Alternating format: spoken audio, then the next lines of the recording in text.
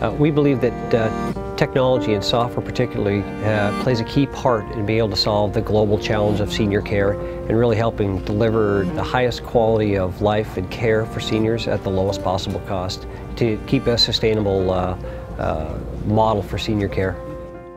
I'm uh, Mike Wessinger, CEO and founder of Point Click Care.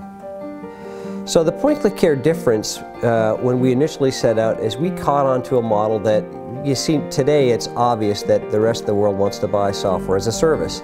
Uh, back in late 99 when we came up with the concept, uh, it, was, it was less than obvious to everybody that that's the way that enterprises wanted to buy software.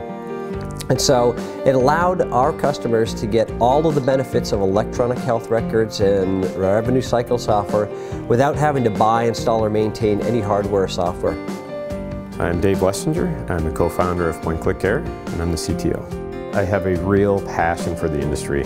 Not here because it's, you know, it's a great place to show up and just work every day and keep your heads down. Here because there's a greater meaning to what we do. There are seniors in the world that really need help and our customers take care of them. And so I think about point click care and I think about the difference we make and I think of us being a larger family.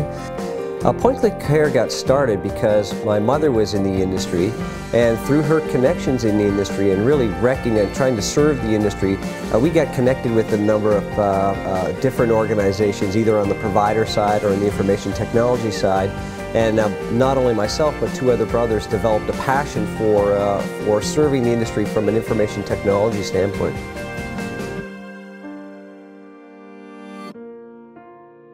Uh, what matters most to Point Click Care is that we make a difference. we're not in business just to make money, but we're going to leave a real meaningful impact on the planet.